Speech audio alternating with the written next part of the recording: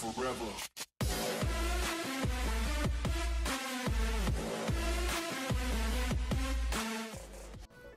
สวัสดีครับเพื่อนๆทุกคนวันนี้มาพบกับผมเอลเลสจากทีม The Dreamcaster นะครับ ในวันนี้เราจะมาพูดถึงเรื่องของ Hitbox จากเกม Overwatch กัน Hitbox นี้ก็เปรียบเสมือนกรอบของตัวละคร ซึ่งมันจะครอบคลุมตัวละครนั้นๆไว้ หากเราโจมตีเข้าไปใน Hitbox ก็จะถือว่าการโจมตีของเราเข้าเป้าหมายแล้วนั่นเอง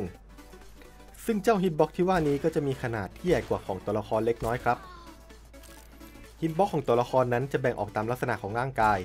ซึ่งฮิตบ็อกที่อยู่ตรงตัวละครนั้น จะมีขนาดที่ใหญ่กว่าตรงส่วนของปีกหรือเครื่องประดับอื่นๆอย่างชัดเจน ตัวฮิตบ็อกนี่แหละครับที่เป็นตัวคำนวณว่ากระสุนที่ยิงไปนั้นโดนเป้าหมายหรือไม่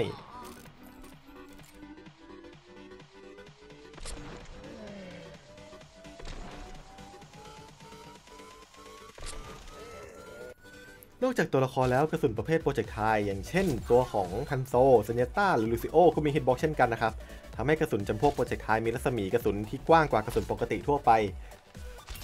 ทำให้ใน kill cam ของคนที่ถูกฆ่าบางทีก็เกิดอาการงงว่า มันโดนได้ยังไงอะส่วนอาวุธที่ตัวละครแต่ละตัวถือหรือใช้อยู่นั้นไม่นับว่าเป็นเป้าหมายในการโจมตีนะครับ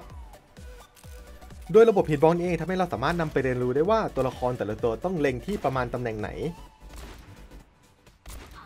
ซึ่งตัวละครบางตัวนั้นจะมี hitbox ที่สามารถยิงโจมตีได้ง่าย เช่น การนั่งขัดสมาธิของ Zenyatta นั่นเองแหละครับ ตัวละครแต่ละตัวสามารถนำมาร่างเป็น hitbox คร่าวๆไว้ใช้ในการเล่นจริงได้ด้วยนะครับ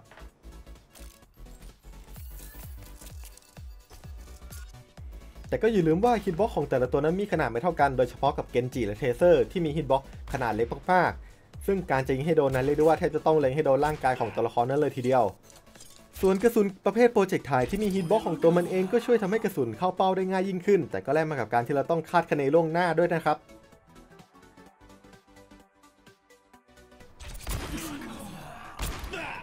เอาละครับ จบลงไปแล้วครับคร่าวๆกับ Hitbox Guide ซึ่งทางเรา The Dreamcaster หวังว่าจะเป็นประโยชน์ให้กับเพื่อนๆ ที่สนใจในเกม Overwatch ได้ไม่มากก็น้อยสำหรับคลิปนี้คงต้องขอตัวลาไปเพียงเท่านี้พบกันใหม่โอกาสหน้าครับ สวัสดีครับ